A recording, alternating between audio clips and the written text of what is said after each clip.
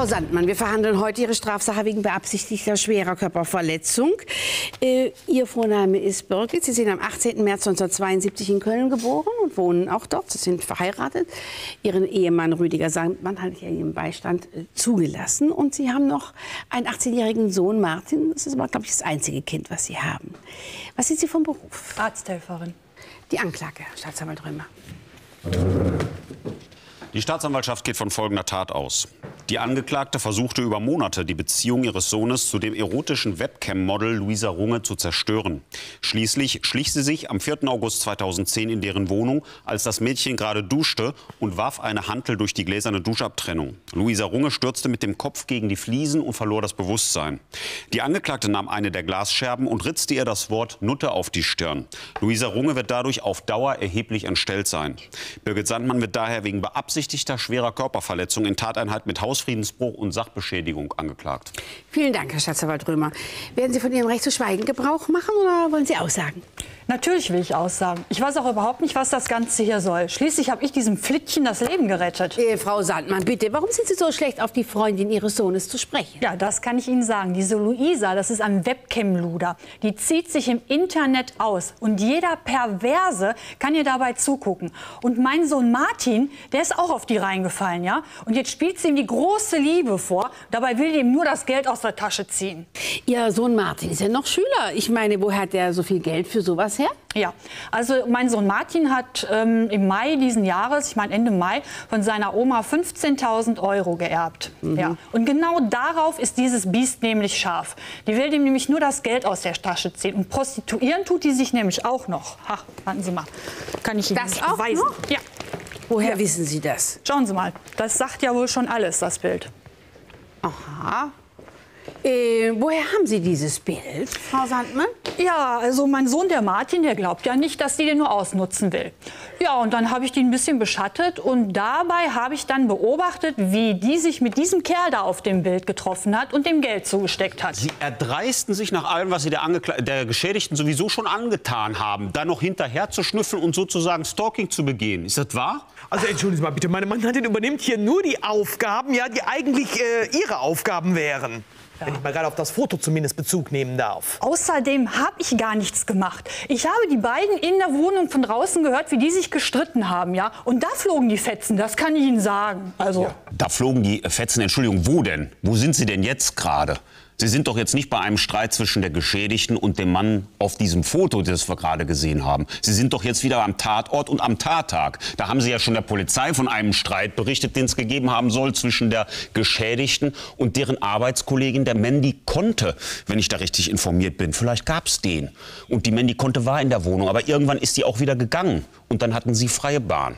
Und dann haben sie sich in die Wohnung geschlichen und dann haben sie die Hantel durch die gläserne Duschabtrennung geworfen. Und sie haben die Freundin ihres Sohnes schwer verletzt. Waren Sie dabei, Herr Römer? Warum sollte meine Mandantin sich denn so lange um die Geschädigte kümmern, bis dann letztendlich der Arzt auch kommt, den sie selbst gerufen hat? Sie wäre doch, wenn sie Täterin wäre, sofort geflüchtet.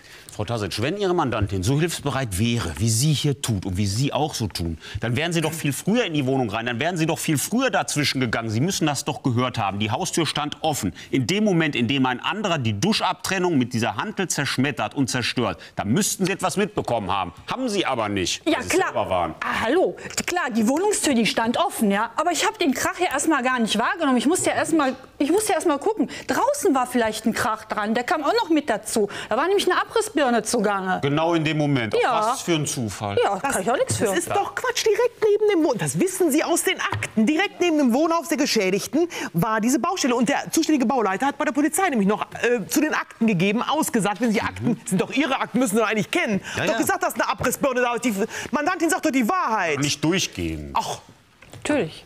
Noch Fragen an die Angeklagte? Nein. Dann möchte ich mit der Geschädigten beginnen. Frau Runge, bitte, und Sie nehmen bitte äh, neben Ihrer Verteidigerin und neben Ihrem Ehemann Platz. Frau Runge, geht's? Ja, danke. dass man bei Gericht die Wahrheit sagen muss, wissen Sie. Und wenn man das nicht tut, macht man sich strafbar. Äh, Ihr Vorname ist Luisa. Sie sind 24 Jahre alt, wohnen in Köln. Was sind Sie jetzt vom Beruf? Ich arbeite als Webcam-Girl. Und Prostituierte. Ich habe dich doch mit deinem Zuhälter gesehen. Also bitte. Was willst du denn von mir? Frau Sandmann, Sie sind im Moment nicht dran, ja? Mit der Angeklagten sind Sie weder verwandt noch verschwägert. Ähm, Frau Runge, bevor Frau Sandmann gleich wieder auf, diesen Thema, auf dieses Thema zu sprechen kommt, äh, fange ich damit an. Ich habe hier so ein Foto. Ähm, können Sie uns sagen, wer dieser Mann auf diesem Foto ist? Also ich habe wirklich keine Ahnung. Also ganz bestimmt nicht mein Zuhälter, weil ich nämlich keine Prostituierte Ah, bin. ist klar. Ich kenne den Mann gar nicht. Ich habe dem wirklich nur Geld gewechselt da. Ja, und ich weiß auch gar nicht, warum du mich überhaupt verfolgst. Warum ich dich verfolge? Ganz einfach, meine Liebe. Weil ich Beweise sammle, dass du unseren Martin betrügst. Ich habe mir nämlich deine ekelhafte Show im Internet angeschaut, ja?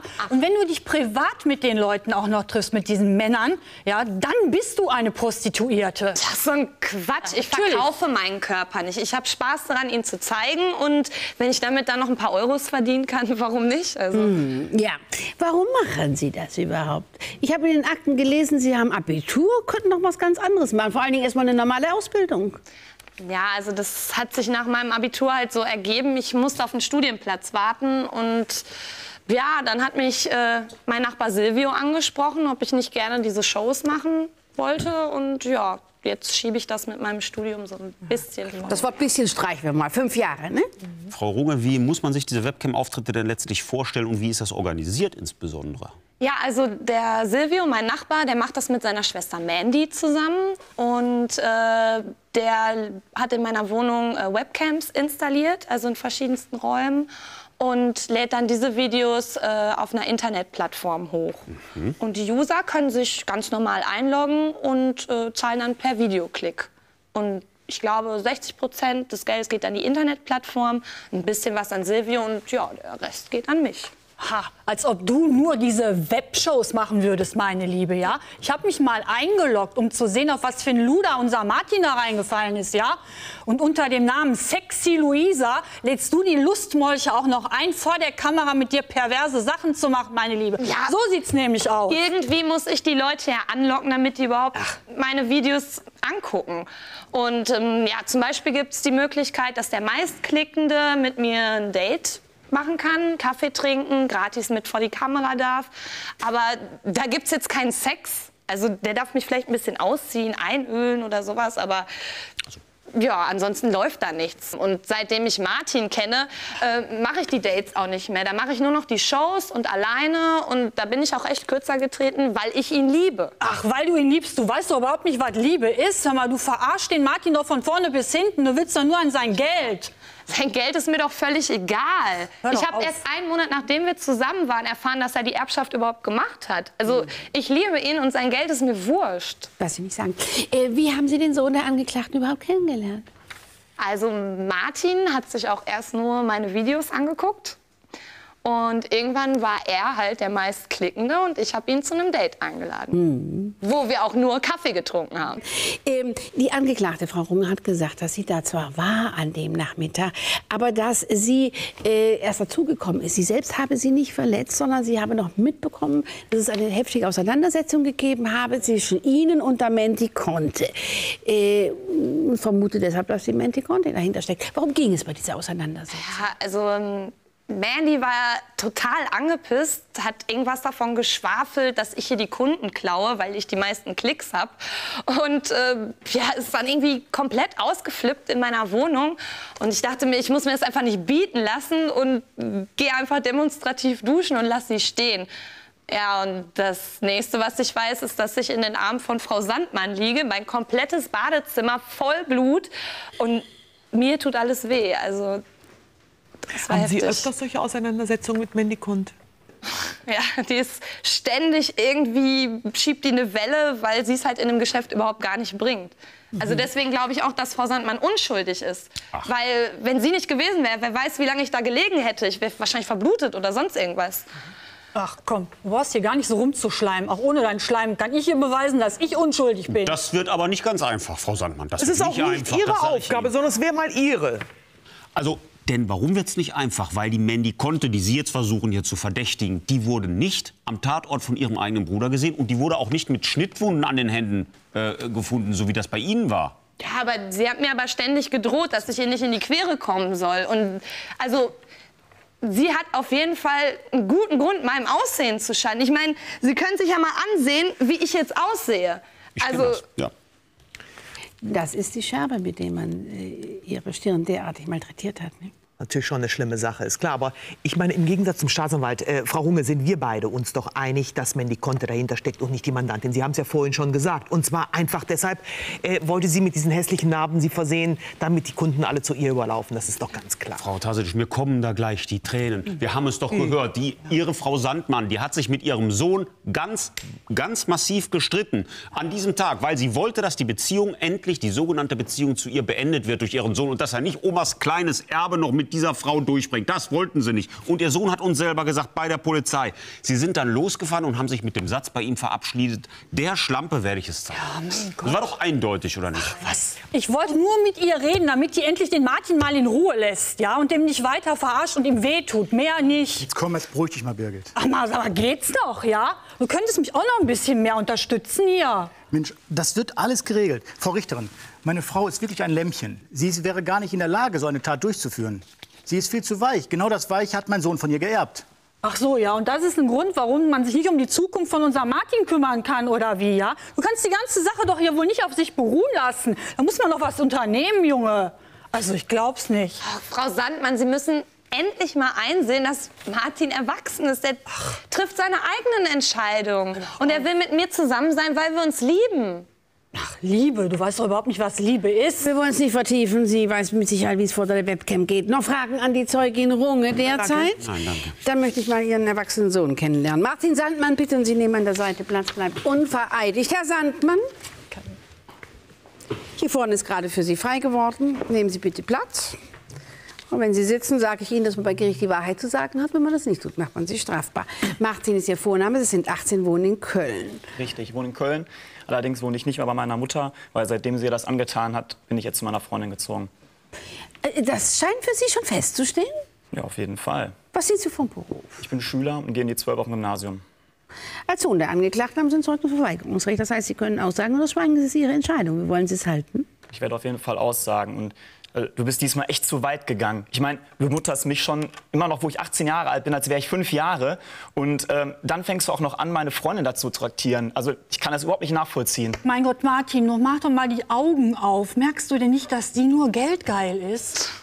Nur weil du dir diese Hirngespinste einbildest, musst du die dann niederschlagen oder was? Ich hab doch gar nichts gemacht. Warum sind Sie so sicher, dass Ihre, nur Ihre Mutter als Täterin in Frage kommt? Denn zumindest Ihre Freundin verdächtigt, nämlich Mandy Conte. Ja, also das ist totaler Quatsch. Ich meine, äh, wir haben uns am Tag der Tat am Morgen ge gestritten und ähm, da wollte sie mir einfach die Beziehung zu meiner Freundin endgültig verbieten. Ja. Und natürlich habe ich ihr gesagt, ich lasse mich davon nicht abbringen, weil ich sie über alles liebe. Und dann, dann ist sie total ausgetickt und hat gesagt, ja, dieser Schlampe werde ich es noch zeigen und ist abgehauen. Und das deutet alles darauf hin, dass sie es gewesen sein muss. Sagen wir mal so, äh, sie ist auf jeden Fall auch noch am Tatort gewesen. Es ist ja der Hintergrund ist ja, dass ihre Mutter große Angst hat, dass sie von Frau Runge nur ausgenutzt äh, werden. Wir wissen jedenfalls von Luisa Runge, dass sie sie kennengelernt haben über eine Webcam-Show. Wie kommt man als 18-jähriger Schüler eines Gymnasiums auf solche Seiten?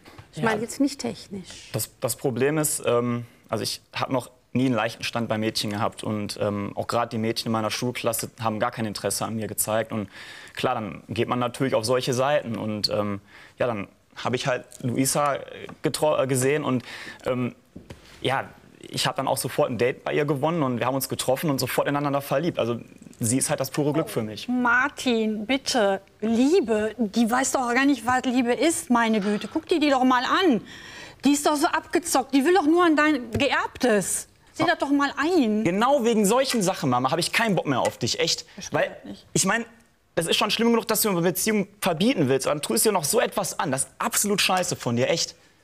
Also Herr Sandmann, um das mal klar zu sagen, Ihre Freundin Luisa sagt ganz klar, Mandy Conte war's. Ja? Und ich vermute eher, dass Sie das hier als persönlichen Rachefeldzug gegen Ihre eigene Mutter verstehen, dass sie sie endlich mal in Ruhe lässt, dass sie machen können, was sie möchten. Nee, also ich starte hier kein Rachefeldzug oder so. Ich sage das, was ich weiß. Und ich weiß, dass meine Freundin mich nicht nur wegen des Geldes will, sondern weil sie mich wirklich liebt. Und wieso können Sie sich da so sicher sein? Weil ich ihr erst von dem Geld erzählt habe, nachdem wir 29 Tage und 8 Stunden zusammen gewesen sind. Ach Martin, bitte. Das sagst du doch jetzt nur, damit deine Luisa hier in einem guten Licht dasteht, ja? Mach doch mal deine Augen auf. Deine feine Luisa ist eine Prostituierte. Wie oft soll ich das denn noch sagen? Du kannst mir sagen, was du willst. Ich glaub's dir sowieso nicht. Das sowieso ist das Problem. Ihre Mutter hat uns nämlich dieses Bild vorhin gezeigt. Sie ist ihrer Freundin gefolgt und hat sie mit diesem Mann gesehen. Wissen Sie zufällig, wer das ist? Nee, also diesen Mann kenne ich nicht. Ähm, Schatz, kann es sein, dass du Probleme wegen deinem Beruf hast, dass du ihn aufgeben willst und deswegen Probleme bekommen hast? Nein, ach Schatz, mach dir keine Sorgen. Lass dich von deiner Mutter nicht verrückt machen. Ja, ich kenne klar. ihn absolut gar nicht. Ich habe dem Geld gewechselt. Und Martin, der Mann ist ihr Zuhälter. Also wer auch immer. Jedenfalls wollte ihre Mutter sie vor der Luisa Runge beschützen, weil sie sie von Anfang an für eine Prostituierte gehalten hat. Ja, sie ist doch keine Prostituierte und sie hat auch keinen Zuhälter oder sonst irgendwas. Das Einzige, was sie macht, sind diese Webcam-Shows. Sie tanzt da vor ihren äh, Zuschauern und ähm, seitdem wir zusammen sind, hat sie auch keine Dates mehr mit diesen Leuten. Also Schwachsinn. Meine Güte, wenn die dich wirklich lieben würde, Junge, dann hätte die diesen Job schon längst an den Nagel gehangen und hätte sich was Vernünftiges gesucht. Aber das kann ich bei der Person da nicht sehen. Sie wird diesen Job aufgeben, weil ich ihr das Startkapital für ihr Sonnenbankstudio geben werde. Was? Sonnenbank? Sag Das mal. kann doch wohl nicht dein Ernst oh sein. nein. Sonnenbank? Ich glaub's nicht. Hör mal, meine Mutter, deine Oma, hat ein Leben lang hart dafür gearbeitet für das Geld. Martin, bitte nicht. Oma wollte, dass du von dem Geld studierst und deine Studentenwohnung finanzierst. Aber doch nicht für eine Sonnenbank. Ich bitte dich. Mama, ich werde sie heiraten. Was? Herr, Martin! Sa Herr Sandmann, was soll denn das jetzt werden, wenn es fertig ist? Jetzt hält mich niemand mehr auf. Nicht Schatz, willst du meine Frau werden? Oh Gott.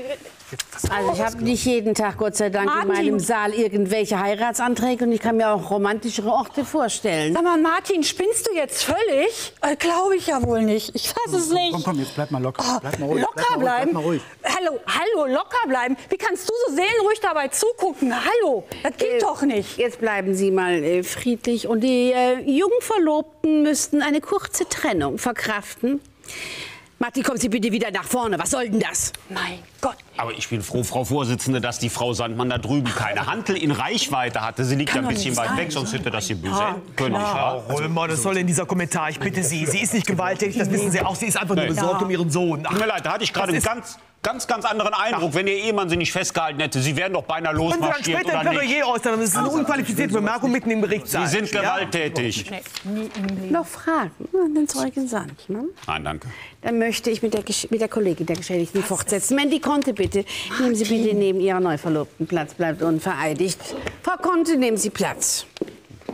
Aber dass mir das da hinten einigermaßen züchtig bleibt, ich habe keine Webcam hier auf. Ähm, Frau Conte, dass man bei Gericht die Wahrheit sagen muss, wissen Sie. Und wenn man das nicht tut, macht man sich strafbar. Man kann immer dann schweigen, wenn man sich selber bei wahrheitsgemäßer Aussage einer Straftat bezichtigt. Müsste 55. Frau Conte, Ihr Vorname ist Mandy, Sie sind 26, wohnen in Köln. Was sind Sie jetzt vom Beruf? Webcam Girl. Mit der Angeklagten sind Sie weder verwandt noch verschwägert. Ja. Frau Conte, die Luisa Runge wurde ja am 4. August 20, äh, 2010 unter der Dusche angegriffen und schwer verletzt und vor allen Dingen äh, auch noch mit einer Glasscherbe erheblich entstellt, indem man ihr das Wort Nutte auf die Stirn geritzt hat. Warum waren Sie an dem Tag auch dort bei Luisa? Ich war an dem Tag bei Luisa, weil wir uns gestritten haben. Sie ist ein abgezocktes und durchtriebenes Miststück. Sie versucht mit aller Kraft, mir meine Kunden abzuwerben, mich in den Ruin zu treiben. ja, genau. Ich kann nichts dafür, dass die Leute lieber mich sehen wollen als dich. Was ärgert Sie so an den Internetauftritten von Frau Runge? Naja, da sie ihre Shows halt immer perverser gestaltet. Um die User zu locken, äh, lässt sie die Zuschauer an ihren Shows teilnehmen. Und wenn sie dann immer noch nicht genug Videoklicks bekommt, dann trifft sie sich mit den meisten Usern auf ein sogenanntes Taschengeld-Date. Taschengeld-Date. Aha. Was dürfen wir darunter verstehen, zumal die Beträge, die die Herren der Schöpfung in der Tasche haben, sehr unterschiedlich sind? Ja, das bedeutet einfach, der meistklickende Zuschauer darf Luisa privat treffen. Und natürlich muss der Kunde auch dafür blechen. Und was sie dann mit denen anstellt, wenn die Kameras aus sind, das will ich gar nicht wissen. Und den Kleinen hat sie doch dort drüben auch so kennengelernt. Da hörst du's, Martin, da hörst du's. Die lässt sich für, die steigt für Geld mit den Typen in die Kiste. So eine ist deine Luisa. Sie ist doch überhaupt gar nicht so, wie du sie darstellst. Bei unserem Date lief doch auch nichts. Ja, dann hat sie sich doch da schon über den Tisch gezogen, Kleines. Also, Äh, wenn wir mal gerade bei diesem Übertischziehen sind, habe ich auch noch ein hübsches Foto im Grünen. Ähm, haben Sie diesen Mann auf dem Foto schon mal gesehen? Wird wahrscheinlich einer ihrer Privatkunden sein. Die treibt's doch mit jedem. Die macht vor keinem halt der Hab Geldblech. ich doch gewusst. Also sowas muss ich mir doch von dir überhaupt gar nicht anhören. Also, seitdem Martin da ist, habe ich keine Dates mehr und ich habe auch niemanden mehr in die Sendung eingeladen. Ich mache nur noch die Show alleine. Das ist es und das war's. Lüg doch nicht rum, Luisa. Du warst und du bist im Außendienst. Du wolltest ihn am Anfang sogar erst an mich abtreten, weil du ihn so widerlich fandest. Schatz, glaubt er kein Wort. Die will mich echt nur fertig machen. Ich finde zwei Frauen, die sich nicht mögen, ausgesprochen hilfreich für die Wahrheitsfindung bei Gericht. Deshalb hätte ich es von Ihnen gerne noch mal genauer gewusst. Was hat Ihnen äh, die Geschädigte über ihre Beziehung zu Martin äh, Sandmann gesagt? Gleich geht's weiter. Wenn erst der Ehemann und dann noch der eigene kleine naive Sohn über ein und dasselbe Luder rutschen. Ich bin nur ein Mann. Ich habe auch nur meine Bedürfnisse. Einen heroinabhängigen Junkie, den ich finanziell unterstützen muss. Das ist äh, Luisas Vater. Bleiben Sie dran.